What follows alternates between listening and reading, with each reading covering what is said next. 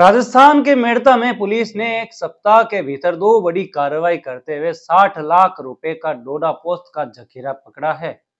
तस्करी से जुड़े दोनों मामले बहुत अजब गजब है। पहला मामला 4 जनवरी का है, जब मेड़ता पुलिस ने ट्रैक्टर पर प्याज बेचने की आड़ में डोडा पोस्ट की तस्करी कर रहे एक युवक को पकड़ा। दरअसल ट्रैक्टर ट्रॉली में ऊपर प्याज भरे थे और प्याज के नीचे एक चद्दर लगाकर भारी मात्रा में डोडा पोस्ट भरा हुआ था। जब पुलिस ने डोडा पोस्ट की तुलाई कराई तो खुद हैरान रह गई। ट्रैक्टर ट्रॉली में प्याज के नीचे 22 लाख रुपए का 144 किलो 280 ग्राम डोडा पोस्ट भरा था।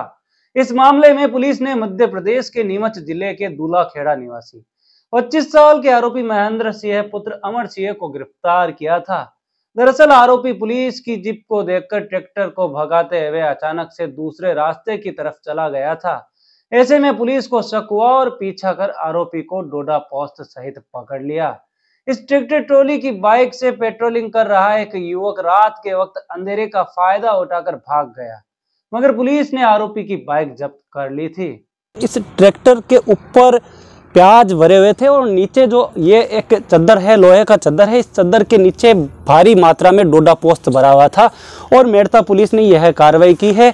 मेड़ता पुलिस ने कार्रवाई करते हुए एक किलो डोडा पोस्ट बरामद किया है, जिसकी बाज़ार कीमत करीब 22 लाख रुपए है। एमपी के मध्य प्रदेश के एक व्यक्ति को गिरफ़्तार किया है पुलिस ने, और साथ ही इस पूरे इस जो पेट्रोलिंग कर रहे ट्रैक्टर की पेट्रोलिंग कर रहे एक युवक की बाइक भी पुलिस ने जब्त की है।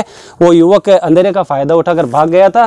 तो आप देख सकते हो, तस्करी के रास्ते किस तरह से तस्करी होती है। इस चद्दर के ऊपर प्याज भरे हुए थे, और नीचे जो है डोडा पोस्त भरा हुआ था। दूसरा मामला सात जनवरी का है। मेड़ता पुलिस ने बीकानेर से उदयपुर के बीच चलने वाली एक स्लीपर बस को तलाशी के लिए रुकाना चाहा तो ड्राइवर बस को भगाने लग गया। ऐसे में पुलिस ने पीछा कर स्लीपर बस रुकवाई। पुलिस ने बस की डिग्गी की तलाशी ली तो कार्टून में अवैध रूप से ले जाया जा रहा 38 लाख रुपए का, दो सौ बावन किलो 600 ग्राम डोडा पोस्त मिला। ऐसे में पुलिस ने डोडा पोस्त की खेप जब्त कर तस्करी के आरोप में बस के ड्राइवर और परिचालक नौका थाना अंतर्गत राशीसर निवासी। 25 साल के मुकेश विश्नोई पुत्र भजन लाल और खेतासर बस्ती गंगा शहर निवासी 40 साल के देव किशन वैष्णव पुत्र हनुमान दास को गिरफ़्तार किया था। इस तरह पुलिस ने एक सप्ताह के भीतर दो बड़ी कार्रवाई कर 60 लाख रुपए का डोडा पोस्ट बरामद करते हुए कुल तीन आरोपियों को गिरफ़्तार किया। साथ ही एक ट्रैक्टर ट्रॉली, एक स्लीपर बस और एक बाइक भी जब्त की। दोस्तों, ऐसे ही किस्सों में बने रहने के लिए आप हमारे चैनल को सब्सक्राइब, फेसबुक पेज को फॉलो, लाइक और ज़्यादा से ज़्यादा शेयर करें।